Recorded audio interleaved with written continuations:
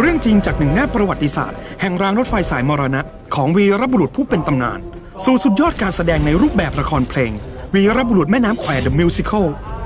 นำแสดงโดยเจมเรืองศักดิ์ลอยชูศักดิ์และแคนดี้รากแก่นกำกับการแสดงโดย ต้อมารุตสาโรวาด 23 พฤศจิกายน ถึง 3 ธันวาคมนี้ ณ บริเวณลานสะพานข้ามแม่น้ำแควจังหวัดกาญจนบุรี สอบถามรายละเอียดได้ที่